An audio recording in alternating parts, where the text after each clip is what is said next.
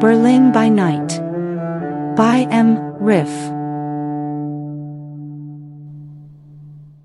Chapter 40 The Pub.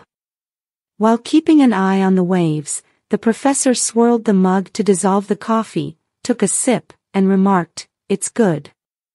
He shared, a few years back, I visited the office, Jose's pub in Denmark. I recall one of the regular patrons saying, Coffee without whiskey is a poor drink. He extended the mug to Azer and inquired, Could you add some whiskey to this?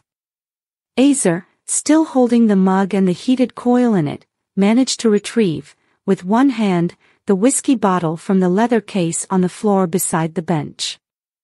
Balancing the bottle between his knees, he unscrewed the lid, poured whiskey into the professor's mug, and sealed the bottle. Returning the bottle to the bag, he mentioned, I recognize that saying, but oddly, I don't recall you visiting the office. I used to work there as a bartender. The professor replied, it probably happened before your time.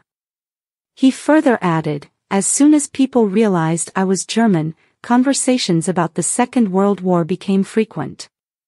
One guest narrated a story about a young man arrested during the German occupation of Denmark and sent to a concentration camp somewhere in Germany.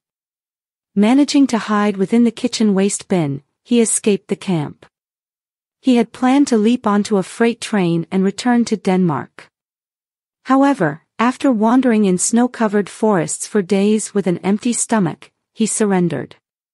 He turned back, knocked on the concentration camp door, and requested to be let in again. He was eventually liberated at war's end, along with other prisoners, and sent back to Denmark.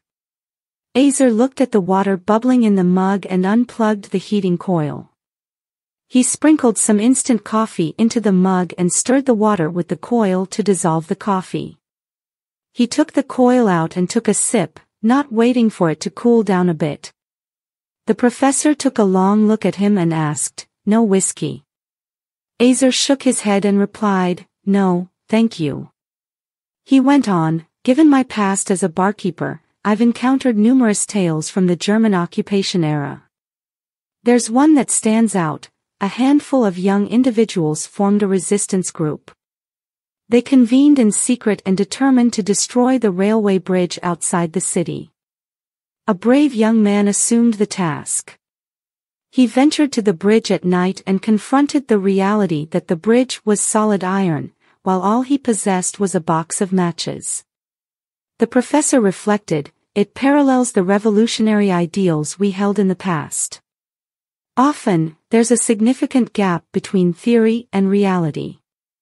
It appeared the professor was distancing himself from the youthful optimism that once prevailed in his life. Presently, they found themselves aboard an aged Norwegian fishing vessel, armed with an empty gun, on the way to liberate Topaz from a fortress guarded by laser weapons and other sophisticated armaments.